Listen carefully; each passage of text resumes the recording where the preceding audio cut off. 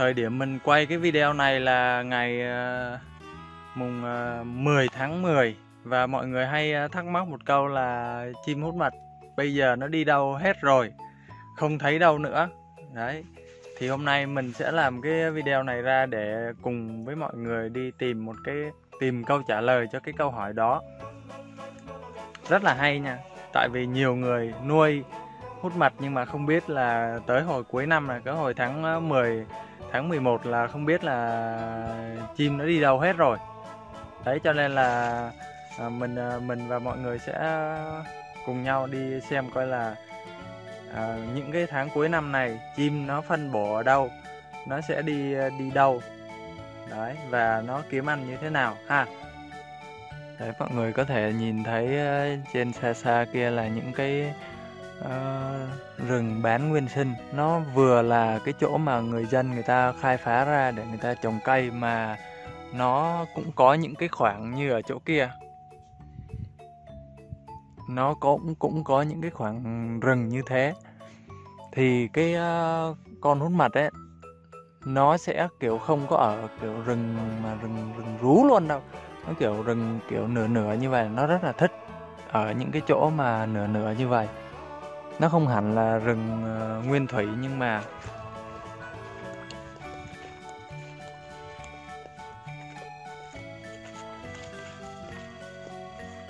Đấy, nó không phải là hẳn là cái rừng nguyên thủy mà nó là rừng kiểu bán bán thôi, bán rừng thôi nè.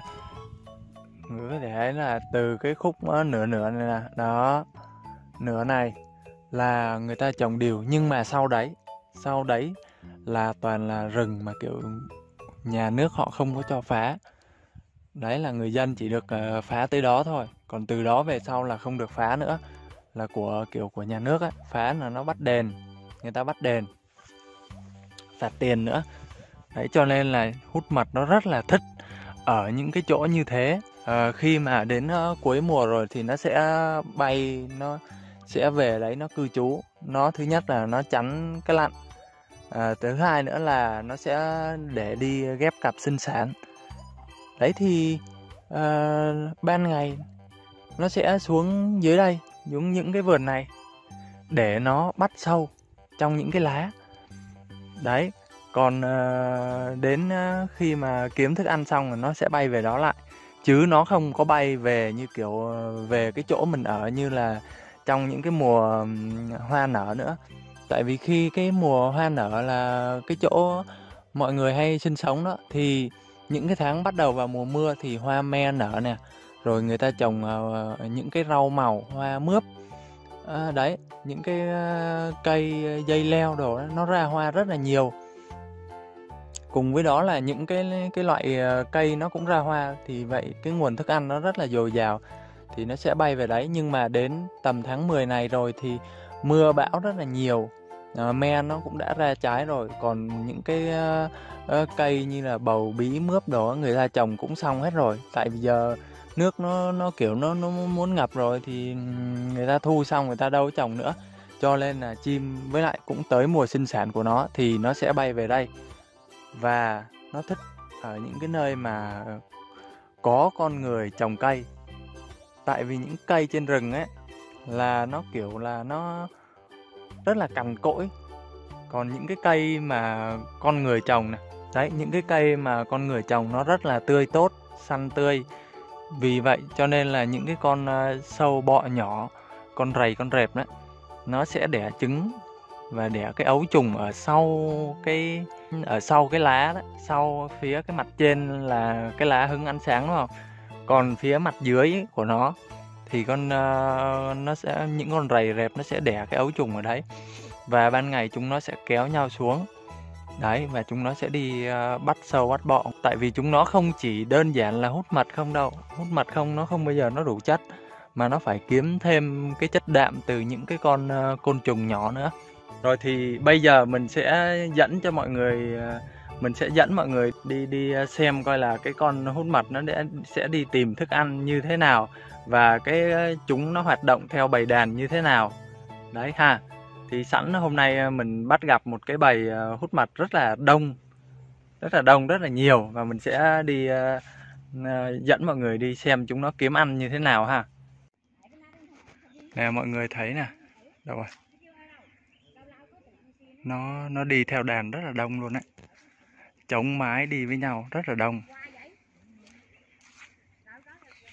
À, đi đâu hết anh? Đấy đấy nó kêu kìa. Đây mình đi theo ờ, mình bắt. Trời con nào con đấy đen xì luôn nè. Trời ơi, kêu quá trời kìa. Nhiều lắm. Đó đó đó đó, đó thấy thấy thấy nó truyền cành không? À, nó đi theo ờ, cặp chống mái chống mái đi nhiều lắm.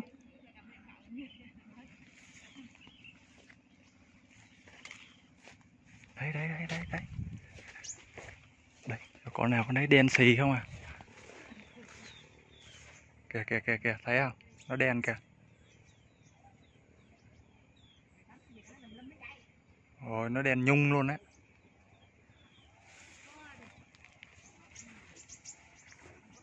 Ôi, kêu trời ơi con nào con đấy đen xì không à? Ừ. ừ.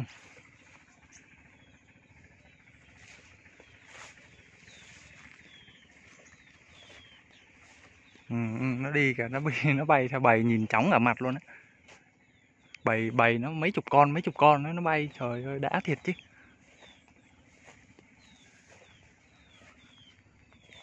Ôi nhìn không nghiền nữa thôi á. Đấy, kêu đó.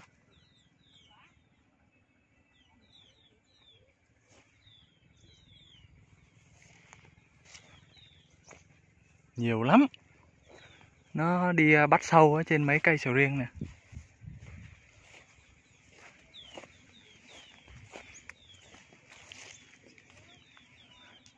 Trời ơi, nó bay kìa, không nghiền nữa thì thôi luôn á.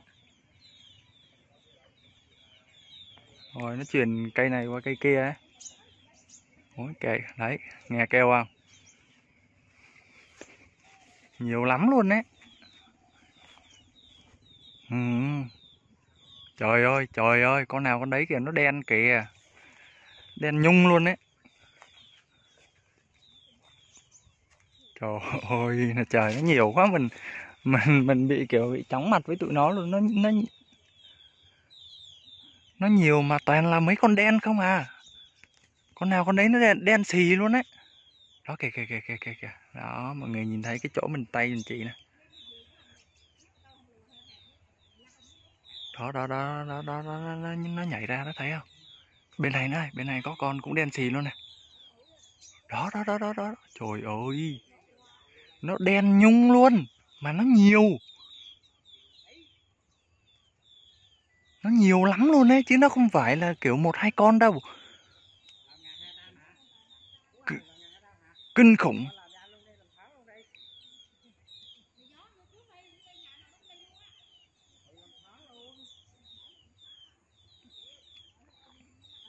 Ừ, ừ, nó đã.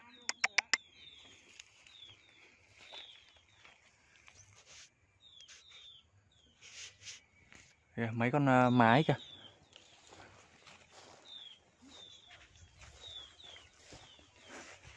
Nhiều quá mọi người ạ nhìn nó không nhìn nó nghiền quá. Nó sẽ đi kiểu nó đi ờ, bắt sâu ở trên mấy cái ờ, mấy cây sầu riêng này nè.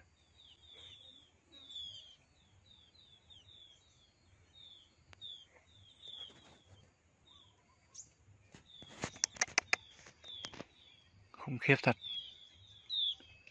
Chưa bây giờ mình thấy một cái bầy uh, bầy màu nào mà nó nó đông như vậy nó nhiều như vậy. Khiếp khủng.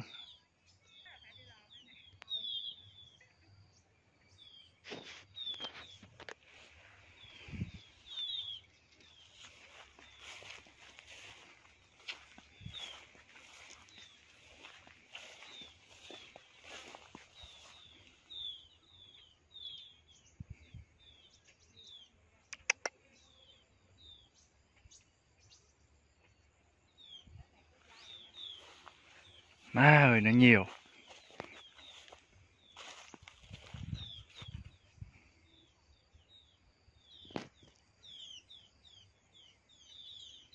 ừ, ừ. nó bay như là kiểu nó đi chợ ấy.